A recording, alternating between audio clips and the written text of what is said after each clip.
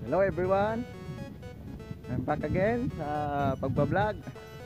Ah, this vlog is uh, about the challenge ni ito ni ah, Adventure Couple Mike and Rose si Ate Rose uh, Betonio Adam. Ah, may challenge siya, may pa-challenge siya sa amin na ah, kailangan na 700 kilometer makuha mo sa 3 months. So mahaba-haba din 'yan. So, makayanin 'yun. So, makaya 'yun. Tapos uh, kailangan uh, bumaba yung timbang mo kahit dalawang kilo. So, so ngayon ah, dito ako mag-start dito sa court, basketball court na 'to eh, sa loob. Yan. So dito ako mag-start. So may sinukat ako doon na 1 kilometer sa dulo. May tanda na ako doon. So bali 1 kilometer. So back and forth 2 kilometer. So minsan naka 7 na back and forth ako. So mga 14 kilometer 'yun. Pag madilim na, di, madilim na delikado doon. Baka maano ko yung mga bato, mata, matapakan ko yung bato, ma-disgrasya pa ako. So dito na ako sa ngayon, no? dito sa cricket. May diyan, may ano diyan sa cricket eh, yun. Eh. Doon cricket court yun. Oval yun, oval. Oh, doon ako umiikot pag ah, medyo madilim. So tara. Huwag natin patagalin. Umpisa na natin. Takbo tayo guys. Ah.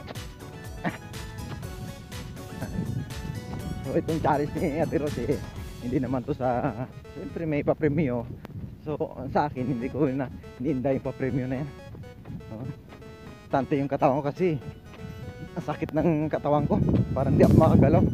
Araw-araw yun, hindi ako makahiga ng maayos. Ah, Saka tumataas yung timbang ko.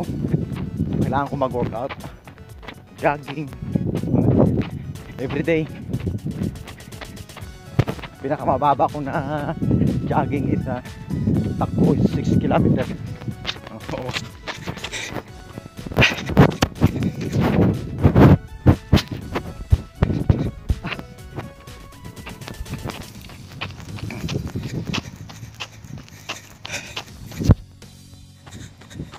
So, ito, doon sa dulo na yun, may tanda ako doon, isang kilometer. Yun ang tinatandaan ko, tapos balik.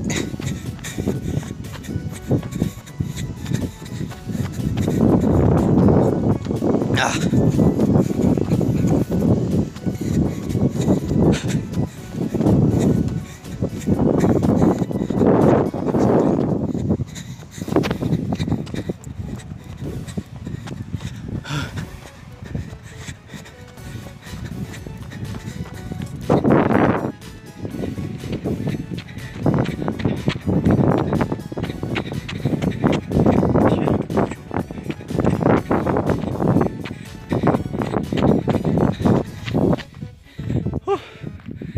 Pagod. Init.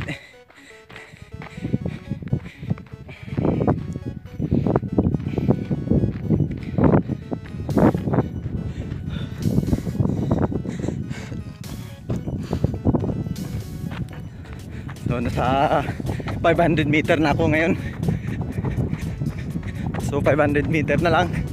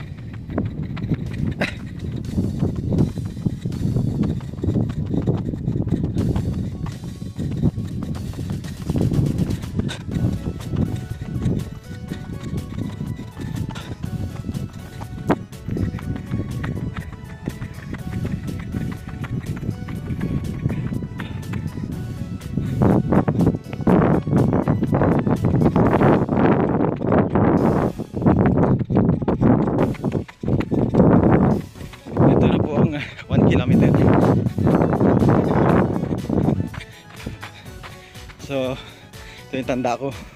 Yung tanda ko na 1 kilometer.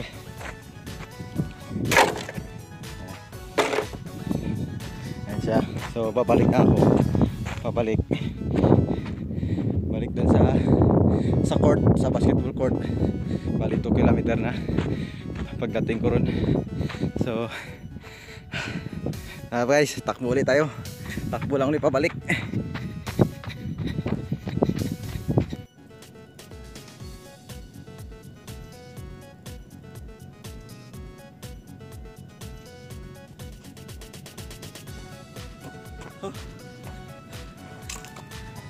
So, dito dito na start ko. So, naka 2 kilometer na ako papunta balik.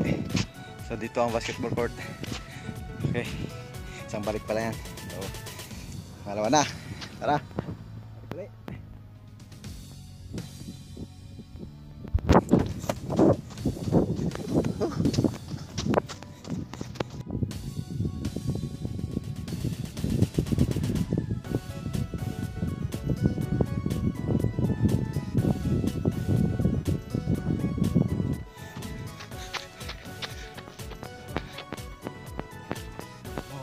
3 kilometers na ako.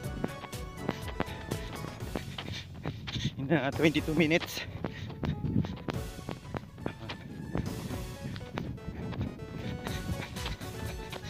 Ah.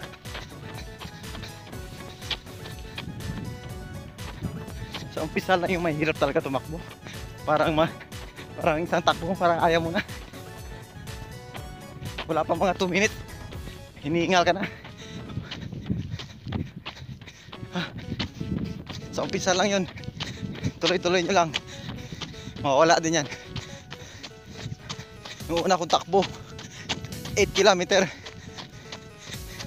Unang takbo ko, 8 kilometer. Sus, pag uwi ko sa bahay, ang sakit ng katawan ko. Sakit-sakit ng paa ko, hita ko.